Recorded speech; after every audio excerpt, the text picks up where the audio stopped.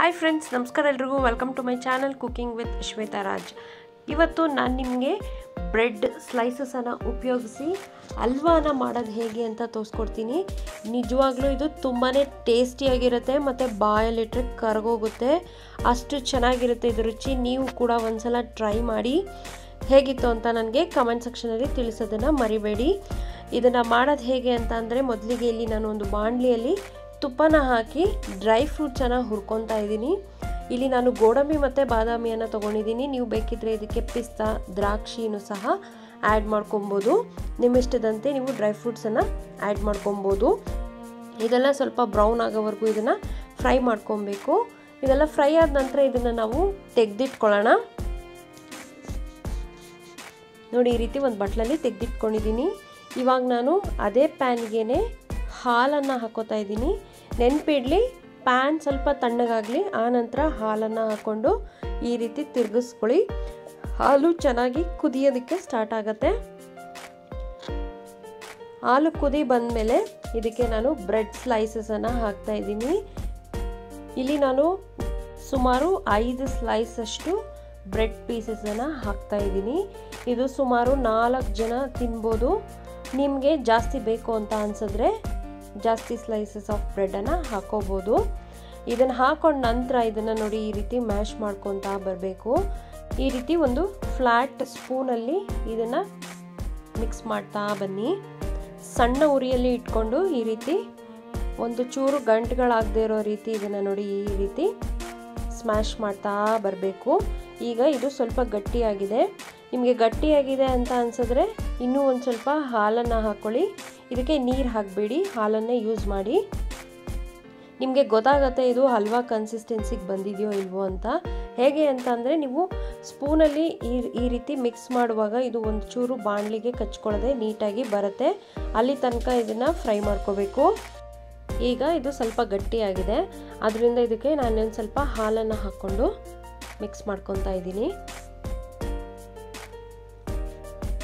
ನೋಡಿ, ಈಗ ಇದು ಸ್ವಲ್ಪ ಗಟ್ಟಿಯಾಗಿದೆ ಅಲ್ವಾ? ಈಗ ಇದಕ್ಕೆ ನಾವು ಸಕ್ಕರೆನ ಆ್ಯಡ್ ಮಾಡ್ಕೊಳ್ಳೋಣ.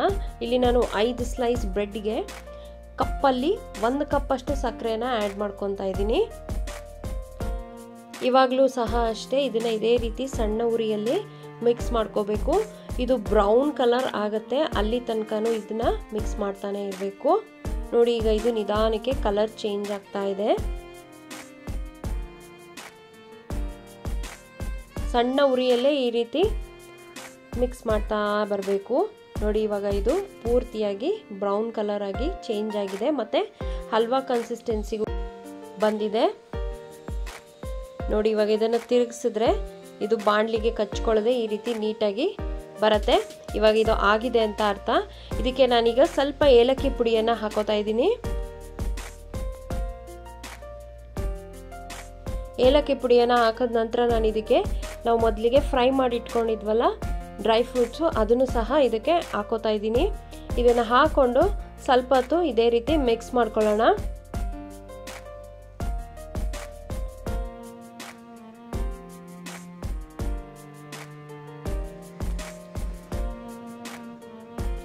ಇದೆಲ್ಲ ಮಿಕ್ಸ್ ಆದ ನಂತರ ಇದನ್ನು ಲಾಸ್ಟಲ್ಲಿ ನಾವು ಇದಕ್ಕೆ ಒಂದು ಎರಡರಿಂದ ಮೂರು ಸ್ಪೂನಷ್ಟು ತುಪ್ಪನ ಆ್ಯಡ್ ಮಾಡ್ಕೊಳ್ಳೋಣ.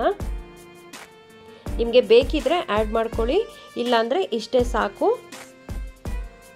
ನೋಡಿ, ಇವಾಗ ಇದು ಪರ್ಫೆಕ್ಟಾಗಿ ಹಲ್ವಾ ಕನ್ಸಿಸ್ಟೆನ್ಸಿಗೆ ಬಂದಿದೆ. ಈಗ ಇದನ್ನು ನೀವು ಇಳಿಸ್ಕೋಬೋದು. ಆದರೆ ನಾನಿಲ್ಲಿ ಇನ್ನೂ ಒಂದು ಎರಡು ಸ್ಪೂನಷ್ಟು ತುಪ್ಪನ ಆ್ಯಡ್ ಮಾಡ್ಕೊತಾ ಇದ್ದೀನಿ.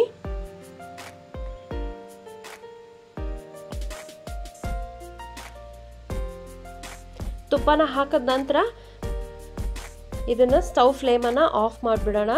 ಸಾಕು, ಇವಾಗ ಇದು ಆಗಿದೆ.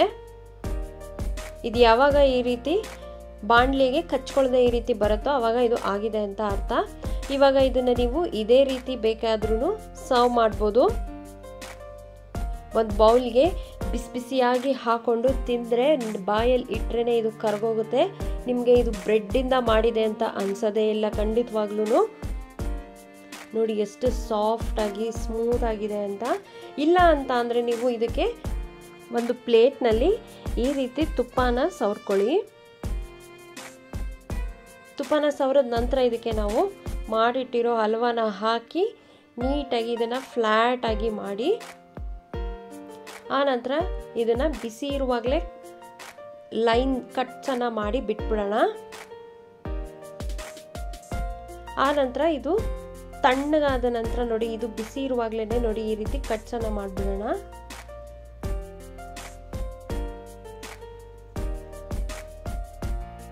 ನಿಮಗೆ ಯಾವ ಶೇಪಲ್ಲಿ ಯಾವ ಸೈಜಲ್ಲಿ ಬೇಕೋ ಆ ಸೈಜಲ್ಲಿ ನೀವು ಕಟ್ಗಳನ್ನು ಮಾಡ್ಕೋಬೋದು.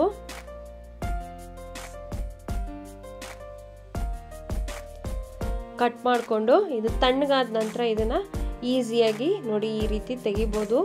ಸಾಫ್ಟ್ ಆದಂತಹ ಬಾಯಲ್ಲಿಟ್ಟರೆ ಕರಗೋಗುವಂತಹ ಮತ್ತು ತುಂಬಾ ಕಡಿಮೆ ಇಂಗ್ರೀಡಿಯೆಂಟ್ಸನ್ನು ಉಪಯೋಗಿಸಿ ಮಾಡುವಂತಹ ಬ್ರೆಡ್ ಅಲ್ವಾ?